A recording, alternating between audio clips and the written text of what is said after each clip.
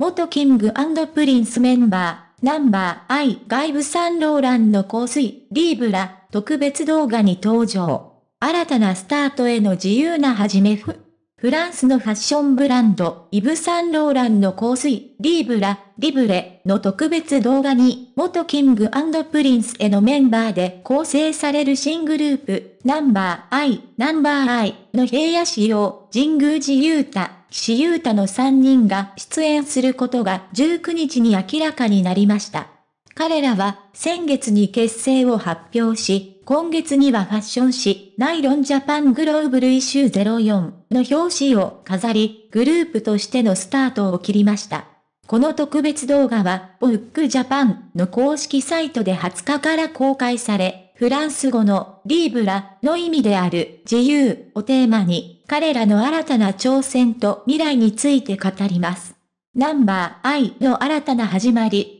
元キングプリンスへのメンバーである平野紫耀、神宮寺勇太、岸優太の3人は、昨月15日に公式チャンネルの動画制配信でグループ、ナンバー I の結成を発表しました。ジャニーズ事務所を退場した後、同グループは滝沢秀明氏が設立した芸能事務所、トベ、 TOBE で新たなスタートを切りました。その一環として、今月15日に発売されたナイロンジャパングローブルイシュー04の表紙に起用され、グループとしての活動を本格的にスタートさせました。イブ・サンローランとのコラボ。そして、その活動の幅を一気に広げる形となったのが、イブ・サンローランの香水、リーブラの特別動画への出演です。この香水は、クールでセクシーなフローラルラベンダーの香りで知られ、自由な女性像を象徴しています。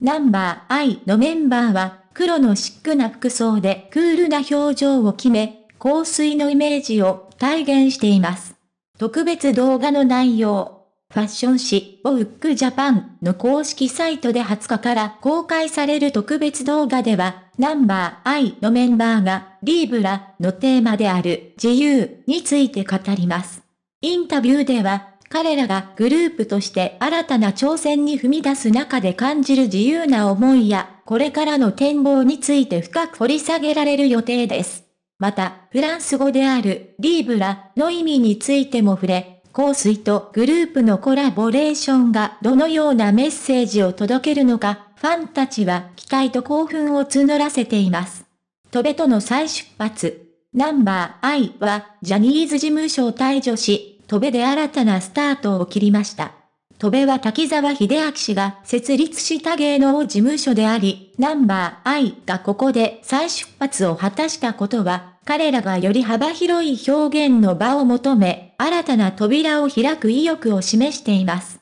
戸部はアーティストたちにとって創造的な自由を提供し、その中で新たな可能性を追求する場として知られています。ファッションとエンターテインメントの融合。ナンバー I のリーブラ特別動画はファッションとエンターテインメントの融合を象徴しています。イブ・サンローランはファッションの枠を超えてアートとしての香水を提供しており、そのコンセプトにナンバー I が参加することで、異なる芸術形式が交わり、新たなクリエイティブな世界が広がることが期待されます。新たな挑戦への意気込み。ナンバー I のメンバーは特別動画で新たな挑戦に対する意気込みについても語る予定です。ジャニーズ事務所を離れ、戸部での再スタートをきっかけに、彼らがどのような音楽やエンターテインメントを提供していくのか、ファンたちは注目しています。